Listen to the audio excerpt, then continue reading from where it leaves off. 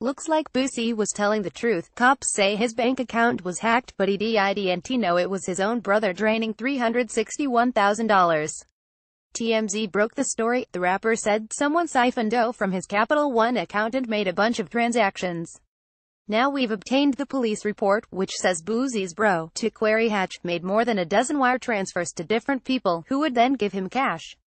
Cops say he once sent as much as $80,000 in one transfer. According to Docs, Tequari even posed as Boosie while on the phone with Capital One customer service, but blew his cover when he mentioned having a wife, which Boosie does not. We're told that set off alarms for the fraud department. Tequari was arrested last week and booked for identity theft and fraud charges.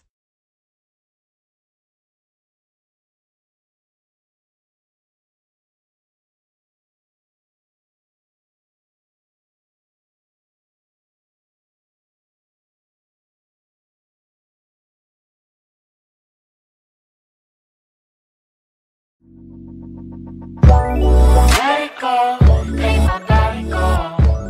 Make our bodies higher higher.